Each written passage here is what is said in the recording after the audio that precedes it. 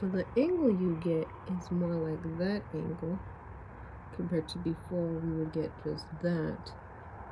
And especially if people were walking on the mulch, you wouldn't catch it. And now we're able to catch it because it's more of that angle we can catch it.